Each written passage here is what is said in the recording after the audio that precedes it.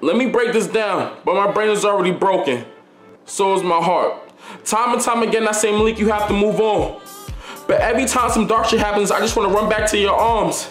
It's funny, she don't even love me no more. I mean, I'm getting sick again.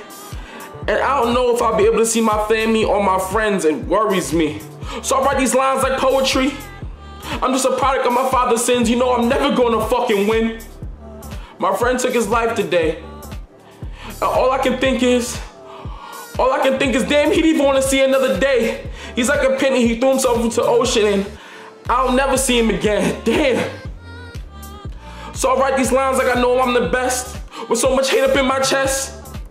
This pain is flowing, B. My pen is moving like it's poetry. The silence in my art, and that's how you know it's me. The darkest man is steady pouring out of me. I don't understand. I'm just trying to be a better man.